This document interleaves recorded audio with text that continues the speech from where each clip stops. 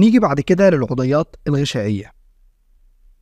يعني العضيات الموجودة داخل الخلية وبتكون محاطة بغشاء. محاطة بغشاء يعني بيكون حواليها من الخارج فسفوليبيدات وكوليسترول. ودي جزيئات تخص الليبيدات اللي مش بتدوب في المية ولكن بتدوب في المذيبات غير القطبية زي رابع كلوريد الكربون والبنزين وغيره من المذيبات غير القطبية. وبالتالي العضيات الغشائية يعني اللي فيها فسفوليبيدات وكوليسترول من الخارج هي اللي هتتأثر بالمذيبات غير القطبية على عكس العضيات غير الغشائية. علشان كده الريبوسومات والجسم المركزي هي العضيات الأقل تأثرا بالمذيبات غير القطبية لأنها مش محاطة من الخارج بغشاء وبالتالي ما عندهاش لبيدات هتتأثر بالمذيبات غير القطبية. والعضيات الغشائية عددهم ستة وهم الشبكة الإندوبلازمية وأجسام جولجي والليسوسومات والميتوكوندريا والفجوات والبلاستيدات. أول حاجة هي الشبكة الإندوبلازمية وهي عبارة عن شبكة من الأنيبيبات الغشائية بتكون منتشرة في جميع أجزاء السيتوبلازم وبتوصل ما بين غشاء النواة والغشاء الخارجي. وبالتالي دور الشبكة الإندوبلازمية هو إنها بتكون نظام نقل داخلي. يعني لو في مواد عايزة تنتقل من مكان لمكان تاني داخل الخلية بتروح للشبكة الإندوبلازمية علشان خاطر تنقلها. ده غير إن الشبكة الإندوبلازمية بتنقل المواد ما بين النواة والسيتوبلازم. يعني مثلا ال RNA بعد ما يتم تصنيعه داخل النواة بيتم نقله للخارج إلى السيتوبلازم عن طريق الشبكة الإندوبلازمية. والشبكة الإندوبلازمية بيكون في منها نوعين. نوع خشن اسمه الشبكة الإندوبلازمية الخشنة ونوع تاني ناعم اسمه الشبكة الإندوبلازمية الملساء أو الشبكة الإندوبلازمية الناعمة. الشبكة الإندوبلازمية الخشنة بتتميز بوجود عدد كبير من الريبوسومات على سطحها. ووظيفة الشبكة الإندوبلازمية الخشنة هو تخليق البروتين في الخلية وإدخال بعض التعديلات على البروتين اللي بيتم إفرازه من الريبوسومات وتصنيع الأغشية الجديدة في الخلية. وبالتالي بيزيد تواجد الشبكة الإندوبلازمية الخشنة في الخلايا اللي بتحتاج إن هي تفرز بروتين كتير زي الخلايا اللي بتفرز إنزيمات والهرمونات البروتينية. علشان كده بيزيد عدد الشبكة الإندوبلازمية الخشنة في خلايا بطانة المعدة لأنها مسؤولة عن إفراز الإنزيمات الهضمية زي مثلا إنزيم الببسين. كمان بيزيد عدد الشبكة الإندوبلازمية الخشنة في خلايا الغدد الصماء لأنها مسؤولة عن إفراز الهرمونات البروتينية.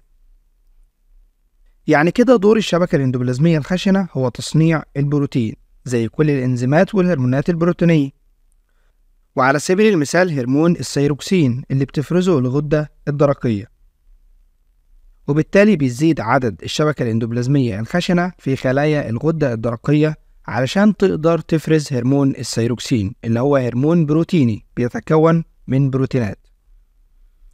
وبالتالي العلاقة ما بين نشاط الشبكة الإندوبلازمية الخشنة وكمية البروتين اللي بتصنعه الخلية علاقة طردية.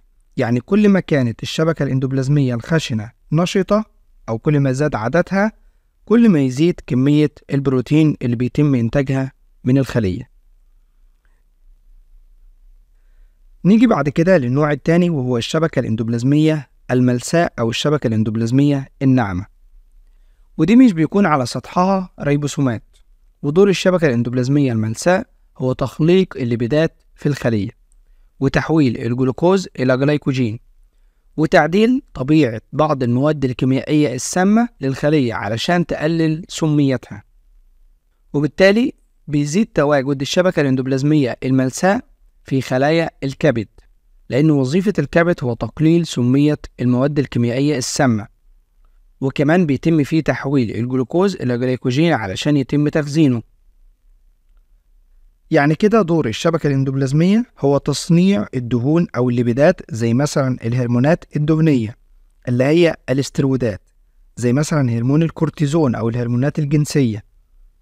الاسترويدات دي اللي بيفرزها خلايا قشرة الغدة الكظرية فبنلاحظ إن خلايا قشرة الغدة الكظرية فيها عدد كبير من الشبكة الاندوبلازمية الملساء علشان تصنع أكبر قدر ممكن من الهرمونات الدهنية. وبالتالي العلاقة ما بين نشاط الشبكة الاندوبلازمية الملساء أو عددها وكمية الدهون اللي بتصنعها الخلية علاقة طردية. يعني كل ما زاد نشاط الشبكة الاندوبلازمية أو كل ما يزيد عددها كل ما بيزيد كمية الدهون المتكونة أو المنتجة من الخلية. كمان الشبكة الاندوبلازمية الملساء بتسحب الجلوكوز من الدم وتخزنه في الكبد والعضلات في صورة جلايكوجين. يعني بتسحب سكر من الدم اللي هو الجلوكوز وبالتالي بتقلل من مستوى السكر في الدم. وآخر حاجة الشبكة الاندوبلازمية بتعدل من طبيعة المواد الكيميائية السامة وبتقلل من سميتها. فبيزيد عددها في خلايا كبد الأشخاص المدمنين أو الأشخاص اللي بتتعرض لكميات كبيرة من المواد السامة. زي مثلا العمال اللي شغالين في مصانع المبيدات الحشرية. العضي اللي بعد كده هو جسم جولجي وهو عبارة عن مجموعة من الأكياس الغشائية المفلطحة اللي بتكون مستديرة من الأطراف. أعداد أجسام جولجي بتختلف في الخلية طبقا لنشاط الخلية الأفرازي بحيث إنه بيزيد في الخلايا الغدية. يعني جسم جولجي بيكون موجود في جميع الخلايا ولكن بيزيد في الخلايا اللي بتفرز مواد سواء كانت هرمونات أو إنزيمات. يعني بالبلدي كده نقدر نقول على جسم جولجي هو محطة التصدير الخاصة بالخلية. بحيث إن جسم جولجي بيستقبل الإفرازات اللي بتكونها الشبكة الإندوبلازمية سواء كانت الخشنة أو الملساء. وبعد كده بيعدل عليها ويحط لمسته الأخيرة ويخرجها في صورة إفرازات. فيبقى جسم جولجي بيلعب دور مهم في تكوين إفرازات الخلية وبيقوم بوظيفته على عدة مراحل. أول حاجة هو إنه بيستقبل جزيئات المواد اللي بتفرزها الشبكة الإندوبلازمية عن طريق مجموعة من الحويصلات اسمها الحويصلات الناقلة.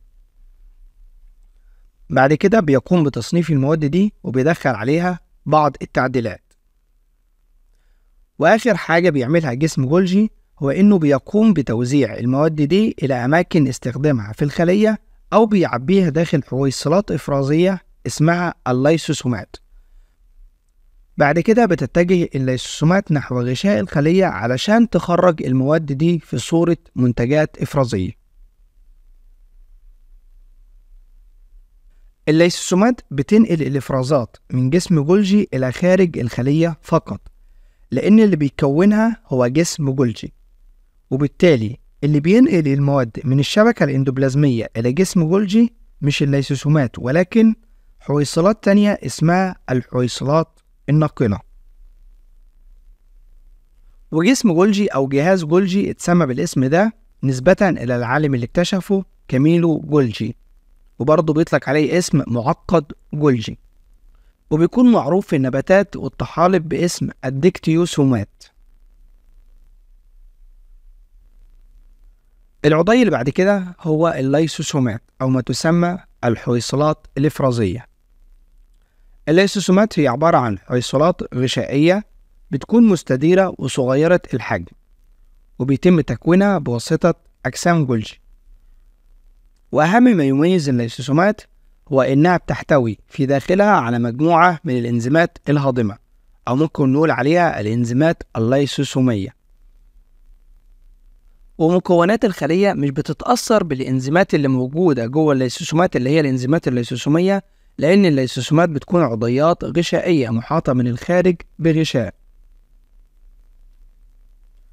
الليسوسومات بيكون ليها أربع وظائف أول وظيفة هي وظيفة إعادة الاستخدام. العضيات اللي بتعجز في الخلية وبتكون مسنة وهرمة وما بيكونش ليها أي أهمية بيتم التخلص منها وإعادة تدويرها تاني بواسطة الليسوسومات. تاني وظيفة هو هضم المواد الغذائية اللي بيتم ابتلاعها بواسطة الخلية وتحويلها إلى مواد أبسط تركيبا عشان الخلية تقدر تستفيد منها. تالت وظيفة هو تدمير الميكروبات أو الكائنات الممرضة اللي بتدخل إلى الجسم زي مثلا البكتيريا أو الفيروسات. علشان الليسوسومات بتحتوي على داخلها على مجموعة من الإنزيمات بتحلل الميكروبات دي وبالتالي خلايا الدم البيضاء بتستخدم الليسوسومات في الدفاع عن الجسم من الكائنات الممرضة. رابع وظيفة هو نقل الإنتاجات الإفرازية من أجسام جولجي إلى خارج الخلية. وكل وظائف الليسوسومات بيشارك فيها أجسام جولجي بشكل غير مباشر لأنه أصلا هو اللي بيكون الليسوسومات.